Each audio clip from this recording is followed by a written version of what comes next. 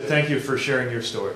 Uh, I think that uh, uh, it, it takes some courage to do that, and it makes a huge difference because uh, I think it helps everyone to understand not just your exercising the freedom to pursue your dreams, but also the freedom that's made it possible for you to turn around with your education and contribute to others by being in your field.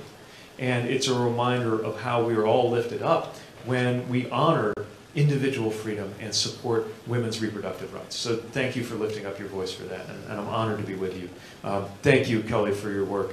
Um, thank you, Planned Parenthood of Nevada, uh, Lindsay and your colleagues, Raquel, everybody